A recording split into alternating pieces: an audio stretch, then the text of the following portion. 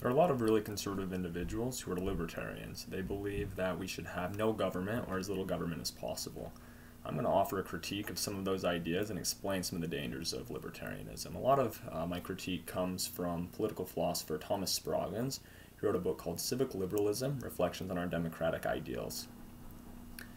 And so, one of the first critiques of libertarianism is that when individuals are able to build uh, vast amounts of wealth huge corporations, they often are really oppressive to their workers.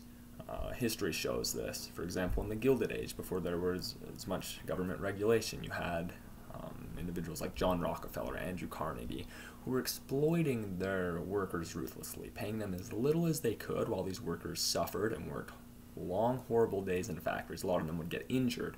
A lot of them um, were getting sick. Some of them were dying. And so, if there's no government regulation at all, then it can be horrible working conditions for the employees. A lot of libertarians don't want to focus on that part of history in the Gilded Age. Another critique of libertarianism is that in a, good, decent society, citizens have a moral obligation to make sure that children don't suffer too much because of the incompetence and negligence of their parents. Kids don't choose which situations they're born into, and so if you have a kid that's born into a really poor family with parents who can't provide, do we not as a society have an obligation to make sure that his needs, his or her needs are met? Uh, libertarians would argue that it's all about individual responsibility. And so children could suffer under that condition. We, we have a society to make sure that they meet their nutritional needs, to make sure that they're able to go to school. And so to chalk it all up to individual charity, um, that could be dangerous a lot of libertarians they want to privatize K through 12 education. What about the poorest uh, kids whose families can't afford that? And so some libertarians argue, oh well, there's enough individuals that would that would help them pay for that. I, I'm not so sure.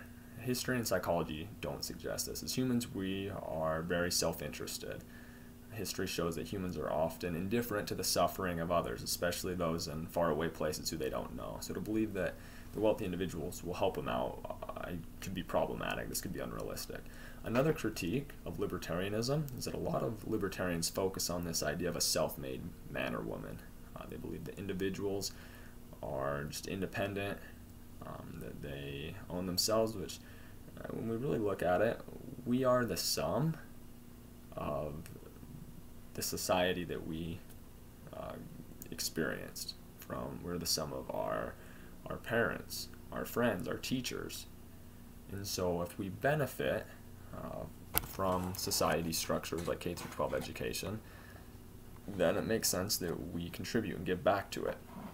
Everyone here in the United States benefits from um, clean water from roads from good infrastructure and so to believe that we we're all just individuals and we don't need to, to pay back, you're taking from a system uh, but not contributing back to it.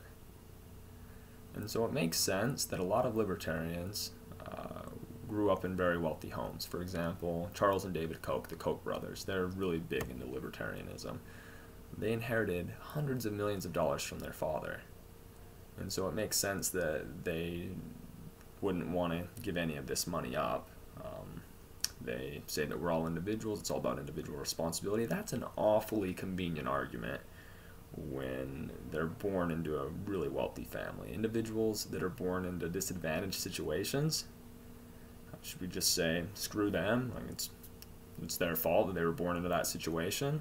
As long as they work hard enough, they're going to be fine.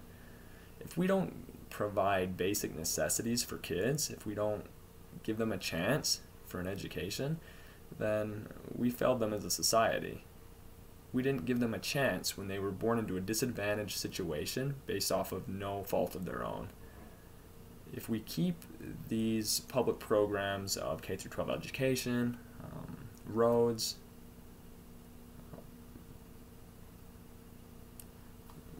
basic basic welfare services for kids, then people are going to have a higher chance of escaping poverty and climbing the social ladder. If we cut these things, then we're we're screwing over people that are born into disadvantaged situations.